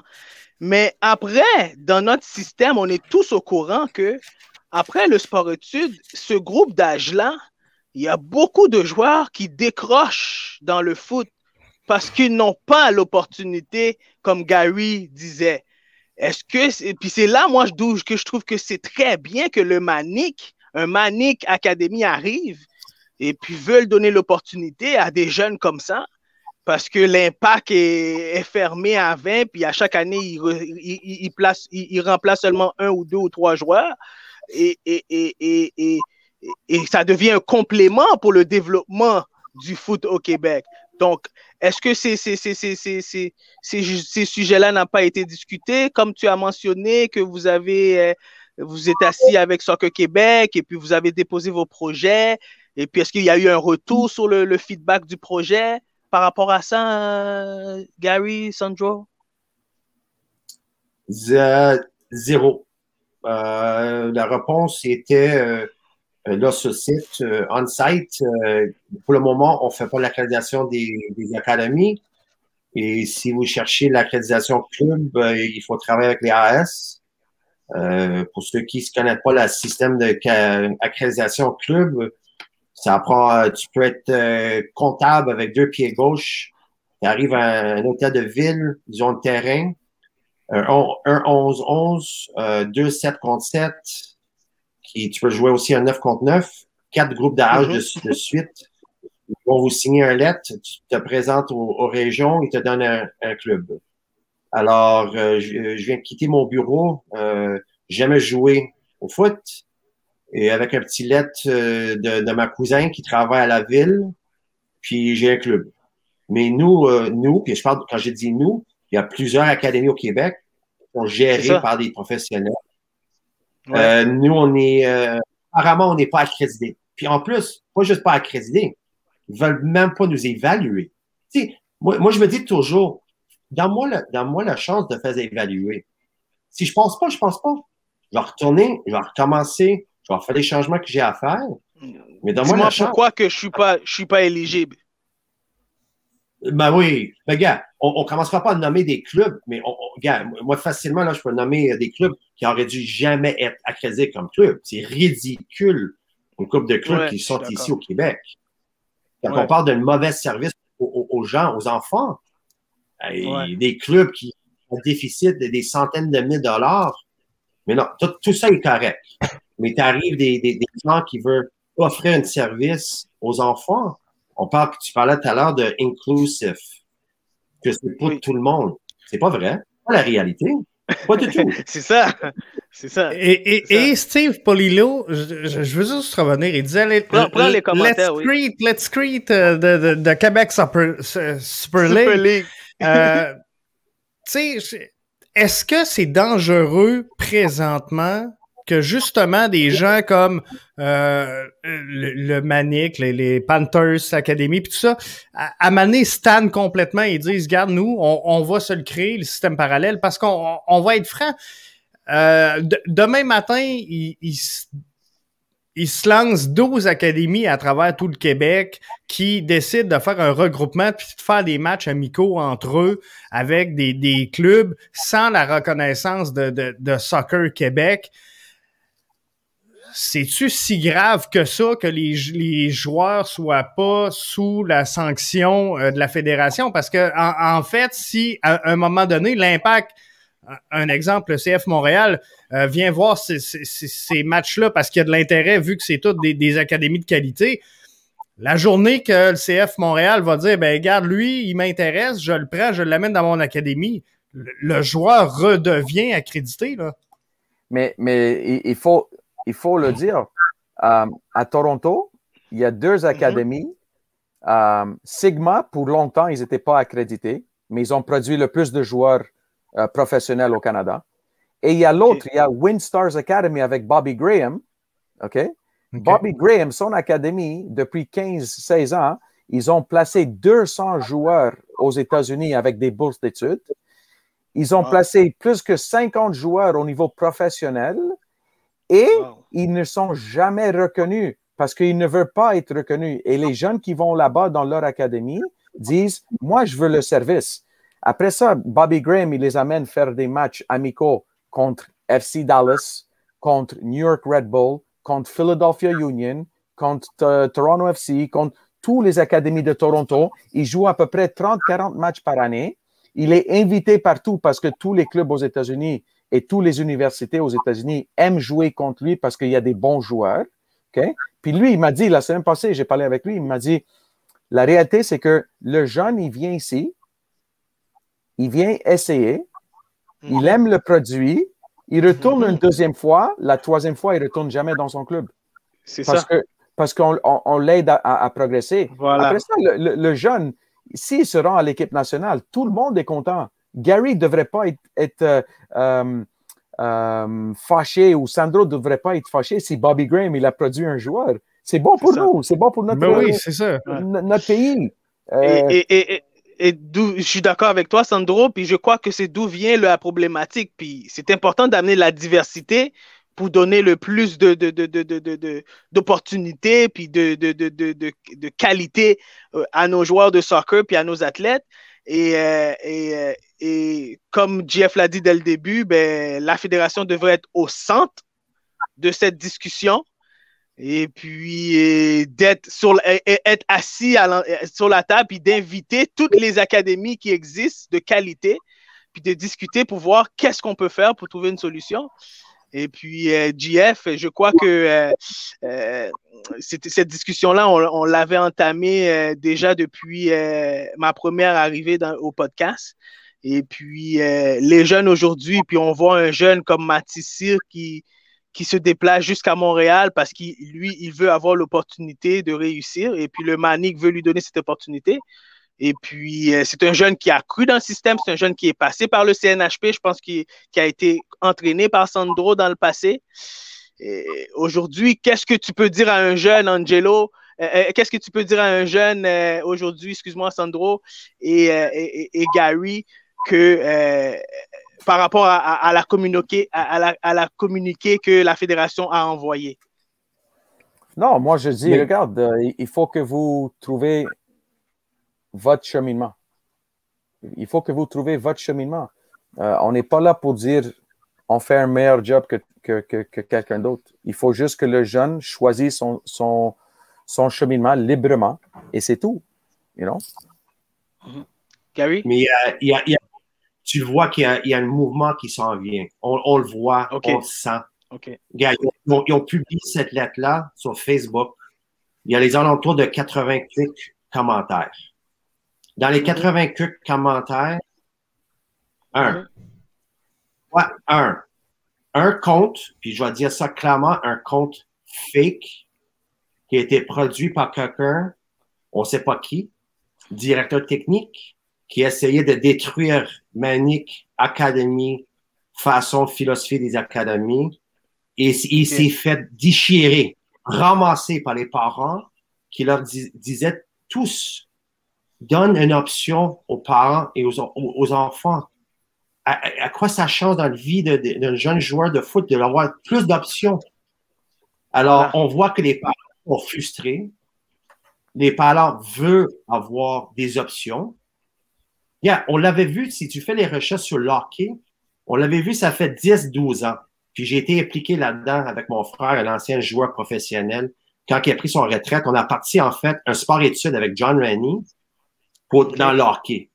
Nous, nous, on croyait envoyer les enfants aux États-Unis, Prep School, puis NCAA. Puis on a, passé, on a placé comme 50 enfants dans deux ans. Puis on s'est busqué avec, Hockey Québec, puis ça s'est pogné avec Hockey Québec. Mais là, aujourd'hui, il y a des académies partout. Il y a des gars qui, qui travaillent avec Hockey Québec, avec des gros clubs de AAA pour aider à placer, tu, tu, tu vois, le, les, les, Lions de l'Axeno AAA, Laz Santorelli. Ouais. Excellent. Il place des joueurs en junior major, en pro, NCAA, prep school, ils, font plus de cheminement pour un jeune joueur de hockey. Pourquoi on ne peut pas le faire pour un jeune joueur de foot? Pourquoi? il y a, un commentaire. faut qu'il passe? Il y a un commentaire de Nick Macrozonaris. Deux fois. Nick, Nick Macrozonaris. Deux fois aux Jeux Olympiques. Reviens, reviens avec le commentaire qu'il a mis, euh, Jeff. Euh, Nick, euh, Nick. Tu essaies de trouver Nick. Ouais. Oui. Deux fois oui. aux Jeux Olympiques. Et il a fait un reportage la semaine passée sur CBC, Montréal, parce que même lui, il a le même problème dans le track and field. Il entraîne des, des, des, des, athlètes track and field de très, très haut niveau. Mm-hmm. Il, gagne, il gagne des courses, il gagne des médailles. C'est des aspirants qui vont représenter le Canada. Et dès que Nick, parce qu'il fait des choses privées, dès que Nick se présente sur une piste à Montréal, et le, le, reportage de CBC, il est sur Facebook si vous allez euh, le voir. Wow! Euh, ils, essayent de lui dire non, tu n'as pas le droit d'être sur le. Tu pas le droit. Puis en plus, il y a un commentaire de quelqu'un, parce que CBC a dit on a, on a essayé d'avoir des commentaires. Puis un commentaire d'un organisme de track and field a dit oui, mais on doit faire attention à la sécurité. Et moi, je me demande pourquoi tes entraîneurs bénévoles sont plus sécuritaires que Nick Macrozonaris? Impossible. Impossible. Le gars, il a été deux fois. Deux, fois, aux Jeux Olympiques. c'est pas juste n'importe qui. Et, et ça, c'est un problème. Ça, c'est un problème de, de, notre culture. Bobby Dulles, avec Tony Marinaro. Avec Tony Marinaro, il a fait une entrevue euh, il n'y a pas longtemps, peut-être deux, trois mhm. ans. C'était la même chose au hockey, comme Gary a dit. Même chose au hockey, parce que Bobby Dulles, c'est un grand nom, nom au hockey. Et pourquoi? Pourquoi, pourquoi, tout le monde a peur de ces gens-là? Pourquoi tout le monde a peur de. de... Ali Gerba, il voulait créer son académie à, à, Québec. Ils l'ont tout de suite arrêté. Tout de suite.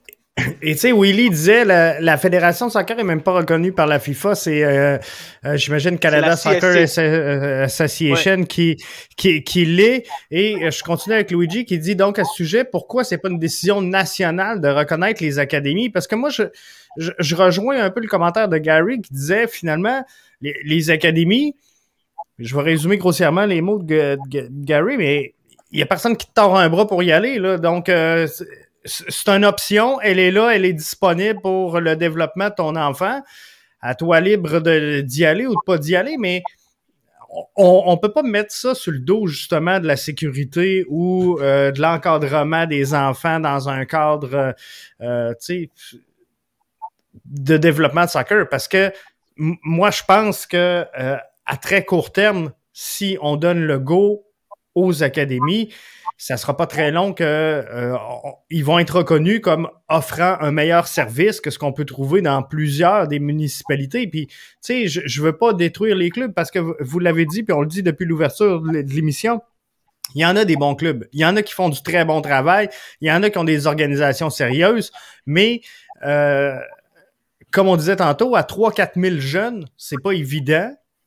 Puis on peut pas les blâmer de pas euh, orienter le développement comme il faut pour l'ensemble du groupe. Donc, ces académies-là doivent venir en, en soutien un peu justement au, système qui est présent, puis de, devenir un, offre finalement qui est complémentaire à ce qu'on offre présentement. 100 Gars, je te, je te dis, tu vas le voir, qu'est-ce qui va arriver? D'ici un an, il y a une ligue d'académie. Moi, c'est ce que je pense qui va arriver. Puis je ne serais pas surpris s'il n'y a pas des clubs qui vont dire merci beaucoup, bonjour, on n'en on, on veut plus notre accréditation club, puis embarquera dans la Ligue d'académie. Tu vas le voir. Parce qu'il il faut à un moment donné se demander c'est quoi qu'on a pour notre argent?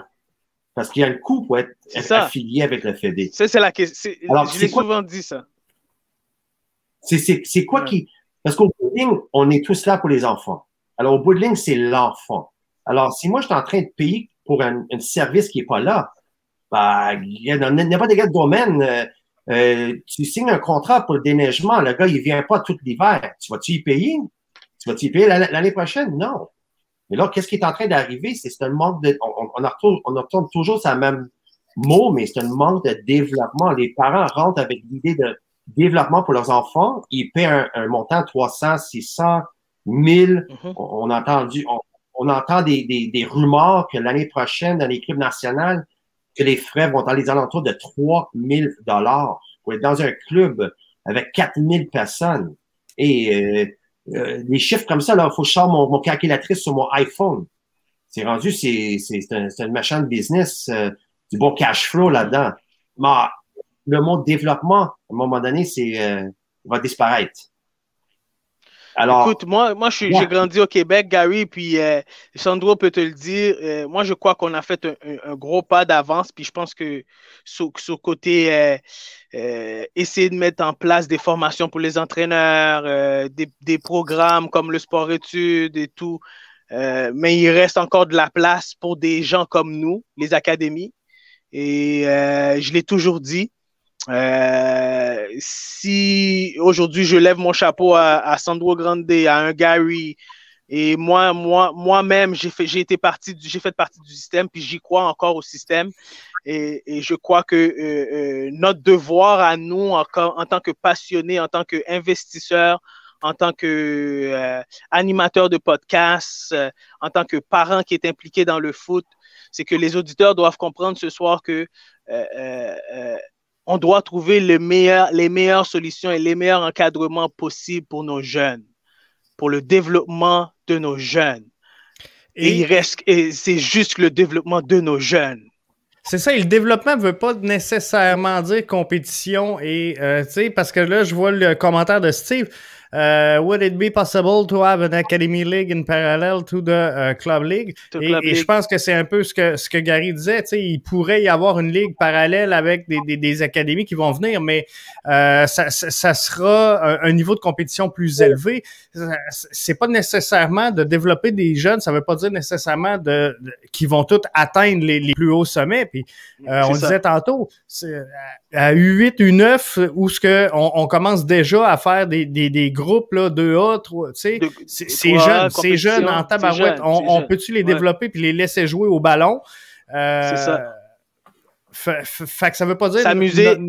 C'est ça, exactement. Mais euh, je, pense que oui, une, ligue d'académie, c'est quelque chose qui euh, pourrait arriver en, parallèle. il y a beaucoup, beaucoup de commentaires. moi, je, veux dire quelque chose. Vas-y, Sandra. Une ligue d'académie, ça ne veut pas dire que un club comme Longueuil pourrait pas mettre une académie dedans? C'est sûr. C'est ça. C'est ça. Alors, alors et, garder leur club. Il faut, il faut juste, il faut juste évaluer tout le monde, comme, comme euh, Gary a dit. Après ça, si on a une structure qui, qui a un niveau de compétition plus haut, ouais. Euh, les meilleurs clubs académies vont se rendre là-dedans. S'il y a une académie qui ne travaille pas bien, c'est là où est-ce que Soccer Québec pourrait quand même dire non, parce qu'il y a des académies qui cherchent juste l'argent. Peut-être, peut-être il se peut, mais c'est là où est-ce que vous devez évaluer. C'est comme, dans tout, c'est comme dans tous les domaines. C'est ça, exact. You know? mais le mandat de tout le monde au Québec, au Canada, le mandat dans les clubs de hockey, le mandat dans les clubs de soccer, dans les clubs de track and field, dans les clubs de. Le mandat, c'est quoi? C'est développer des athlètes. C'est ça. Exactement. Ça, ça devrait être la base. Pour notre nation. Notre nation, c'est Canada. Il faut développer des joueurs et des athlètes pour, notre nos athlètes. pays. Parce qu'on aime tous regarder les World Juniors qui gagnent la coupe chaque Noël. On aime ça. Oui, on, est ça. Fier, on est fiers du Canada quand on a ça. C'est vrai. Moi, j'aimerais voir, tu sais, moi, j'ai eu la chance, je suis très, très chanceux d'avoir de jouer avec l'équipe nationale. J'ai fait les qualifications à la Coupe du Monde. Euh, on était à quelques minutes de peut-être aller dans le X euh, quand on jouait à, Honduras, on gagnait 1-0 et ils nous ont marqué avec cinq minutes de la fin. Mais moi, j'ai eu cette chance. Pourquoi un autre jeune ici n'aurait pas cette, cette chance-là? Cette opportunité-là, exactement. You know? Exactement. exactement. Euh, je vais prendre euh, Tony qui dit les gars, vous pouvez parler toute la soirée. La réalité, c'est ce que euh, c'est qu'il y a des gens qui ont fait carrière avec la structure actuelle et qui ne se laisseront jamais perdre ce, contrôle-là. Mais peut-être que de, un, ces gens-là qui ont cette vision-là, je pense qu'ils sont pas à bonne place présentement si on parle de mettre les athlètes en, avant, au front, en première ligne, c'est pour eux qu'on doit développer le soccer. Et euh, de deux, euh, les, gens qui font carrière dans la structure actuelle, faut s'entendre, ils n'ont rien à perdre à voir arriver des académies dans le portrait parce que on, va se dire une chose. Sandro le disait, le but, c'est de développer des joueurs pour la sélection nationale. Éventuellement, ça devrait être le but ultime. Donc, plus on va avoir de ressources de qualité, plus on va produire des joueurs. Donc, la structure actuelle n'a pas à se sentir ébranlée. Et euh, au contraire, tantôt, je reviens encore là-dessus, mais on parlait de clubs de 3-4 000 joueurs. Ben, eux autres, si on les soulage d'une coupe de sang, parce qu'on a des académies de qualité qui vont prendre des bons joueurs et les faire progresser, on aide tout le monde. On aide la structure, on met de l'air dans le système. Je pense que c'est win-win pour tout le monde. Exactement. C'est win-win pour tout le monde. Puis euh, je pense que euh, ça a été très clair le message ce soir. Et puis euh, qu'est-ce qu'on pourrait qu'est-ce qu'on pourrait dire, Gary, à, à, les jeunes aujourd'hui qui, qui, qui sait que vous avez une partenariat avec le centre, centre sud et puis qui veulent se joindre à vous et puis vous avez des camps bientôt à venir. Parce que là, ça reste, hein? Tu sais, euh, malgré là, les, les, gens pouvaient être inquiétés là, avec l'apparition de la lettre de, Québec Soccer, mais le, le, Manic a confirmé que euh, les essais et euh, les essais de Centre-Sud Laval sont, sont, prêts à commencer. On continue d'aller de l'avant. Il n'y a rien qui est cancellé pour le papier qui a été mis. Non. non, non, il n'y a rien qui est cancellé. ce samedi, dimanche, il y a eu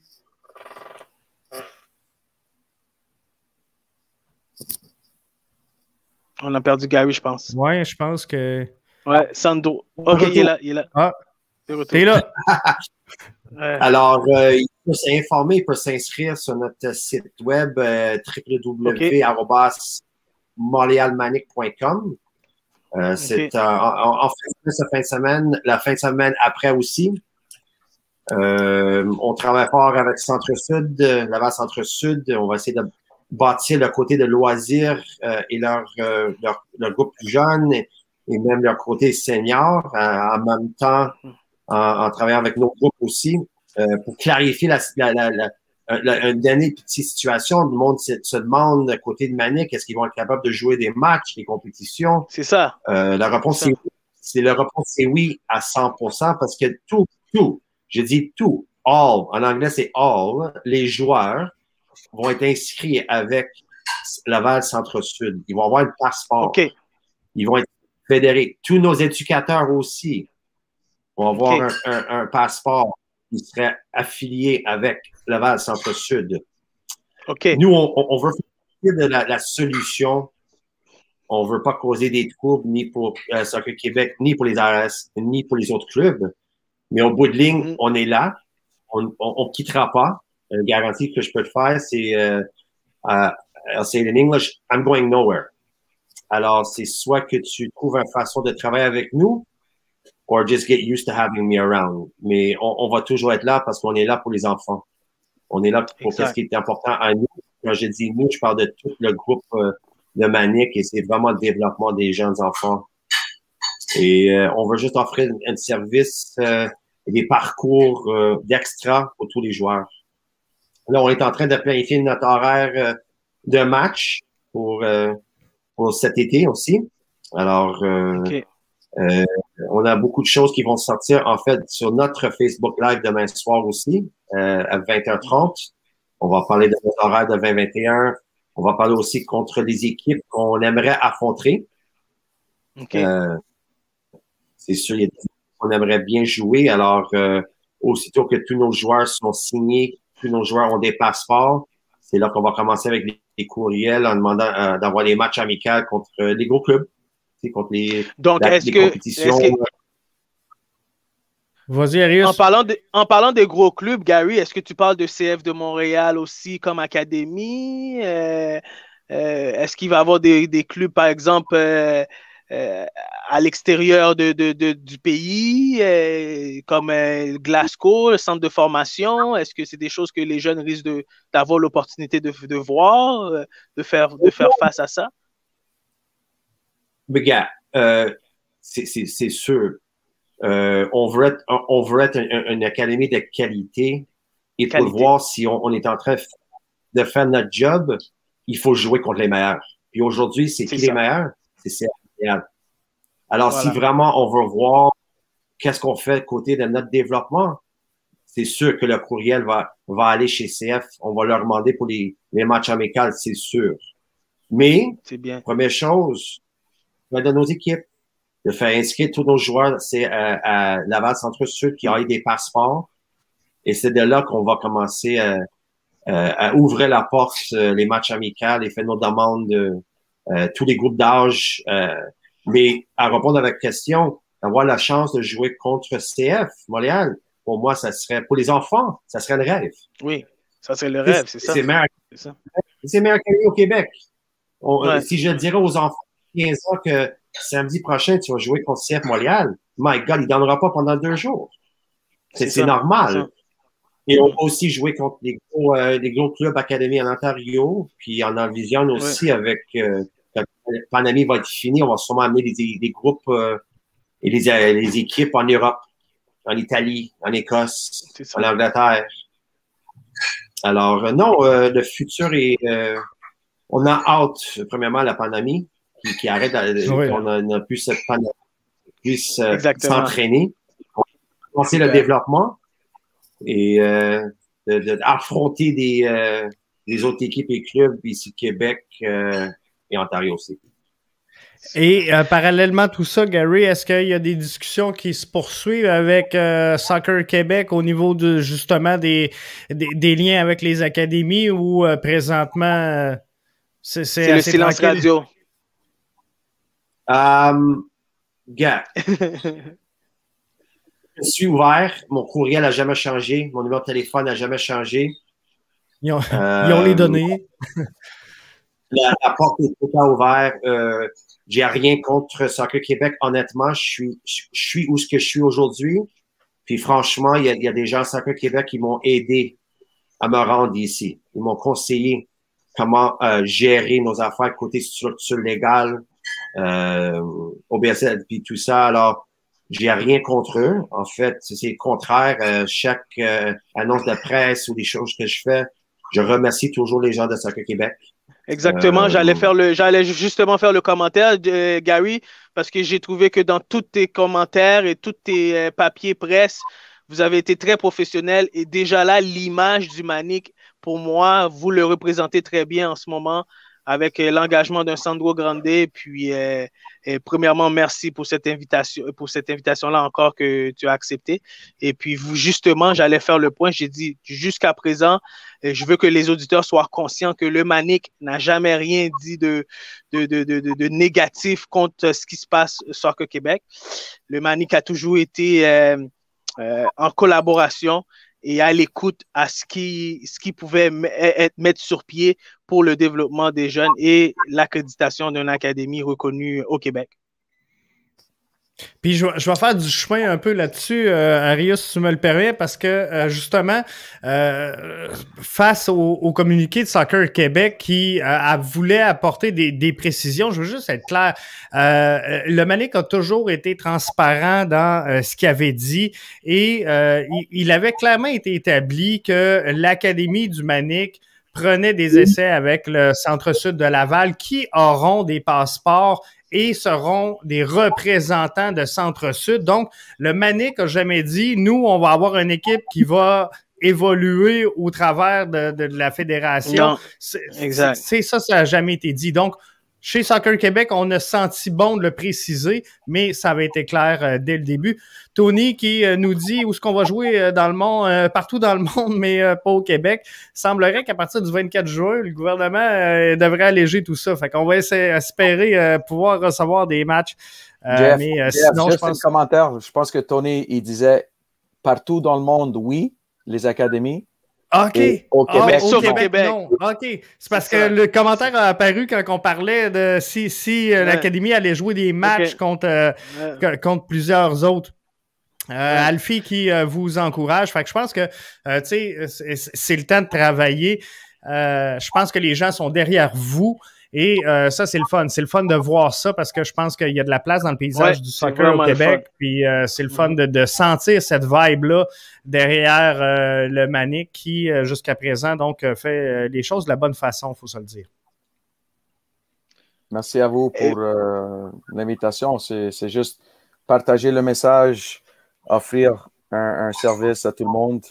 Et à la fin, si on ne fait pas un bon service sur le terrain, les jeunes ne vont pas venir. Exactement.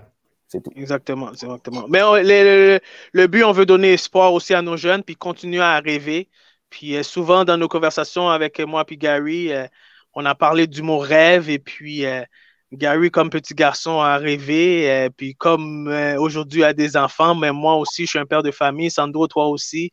JF, on est tous des pères de famille. Puis nos jeunes, ils rêvent un jour d'atteindre un certain, certain standard dans la vie. Certain niveau, exactement. Et puis, ben, comme père de famille, ben, on devrait être là pour les diriger puis d'être, de les accompagner. Merci beaucoup, les gars. Merci pour votre temps. Merci. Donc, en terminant, gang, je vous invite à visiter le site du Manic. J'ai mis le lien ici au bas de l'écran, montréalmanic.com. Ça commence bientôt.